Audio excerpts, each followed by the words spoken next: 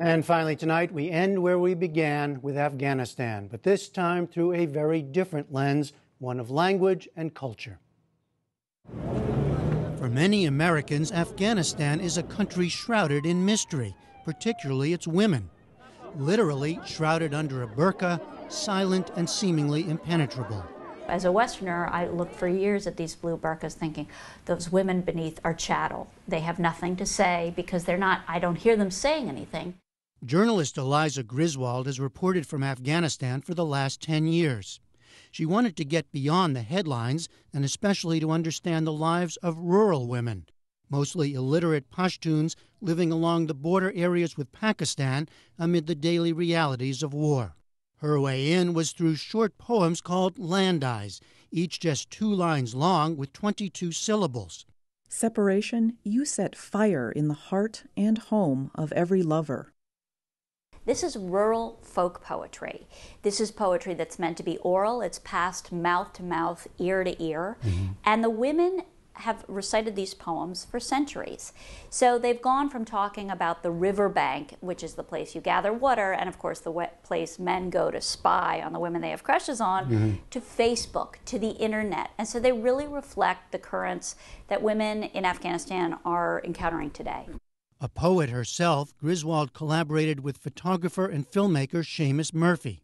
Poetry magazine is devoting its entire June issue to their work.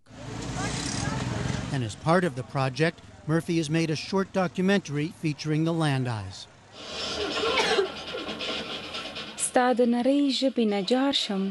I could have tasted death for a taste of your tongue, watching you eat ice cream when we were young. As with poetry everywhere, one theme is love, but there's a whole lot more.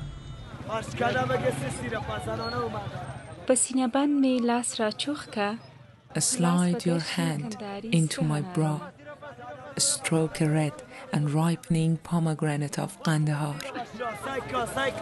Pull that burqa back, and she will talk to you about the size of her husband's manhood uh, you know, she will go right for it sex, raunch, kissing, rage. She mm-hmm. will talk about the rage of what it is to be cast in this role of subservient in a way that's really startling.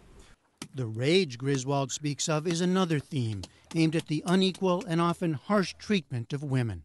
When sisters sit together, they always praise their brothers. When brothers sit together, they sell their sisters to others. Griswold says landais are a way to subvert a social code in which many rural women are prohibited from speaking freely. They're a way to be very outspoken, but not to own the authorship of that statement. Hmm. Because being collective and anonymous, a woman can say this and she can say, Well, of course, I just heard that on the phone, or I just heard that in the market. I didn't make that up. That's in a society where they are otherwise not allowed to speak, not allowed to write poems at all. With real danger, dangerous consequences. Exactly. In fact, this project began after Griswold wrote a magazine article on a young woman who'd been beaten for writing poems and later killed herself. Given stories like that, it was also tricky to collect the landais. Frequently, to meet these women, I had to be uh, uh, undercover to some extent. Hmm. Uh, I had to wear a burqa of their request. Please come dressed as one of us. We will gather on Saturday afternoon. Our husbands will be out. We started in refugee camps around Kabul, and we would hit situations like first of all, Seamus and I were never able to work together because it w- is impossible for him as a man to witness women singing or saying these land. They just won't do it. They would be killed to be found out to do it. Another major theme of the Landais is the pain and sorrow of war. In battle, there should be two brothers, one to be martyred, one to wind the shroud of the other. There's a lot of anger at the Taliban, a lot of rage at the hypocrisy of the Taliban, mm-hmm. and an equal amount, if not more, rage at the hypocrisy of the Americans and what their influence has left behind. Many of the women who were sharing them with us were survivors of very recent bombing attacks. One woman had shared Landai about her cousin, a, a, a Talib who'd just been killed by a drone strike. The drones have come to the Afghan sky. The mouths of our rockets will sound in reply. The mention of drones is also an example of how landais respond to changes in society.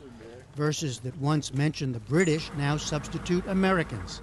And today, landais are often shared on the internet and in social media. And those new technologies make their way into the updated verses. How much simpler can love be? Let's get engaged now. Text me. What happens to this form in the future? I mean, what, what, what you, is it your sense that it might die off because of changes in the country, or, or does it have a, a life? So I asked one of the leading novelists in Afghanistan, a guy named Mustafa Salik, what he thought.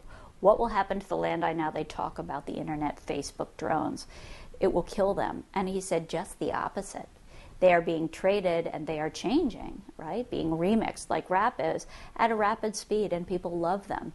The Landai is supposed to communicate in the most natural language the truth of Afghan life. So I found my assumptions about the death of the Landai being absolutely confounded by what Afghans said themselves. Just another assumption confounded in this rare look behind the veil. And for the record, Poetry Magazine, which is featuring the Landais this month, is produced by the Poetry Foundation, which helps support our coverage.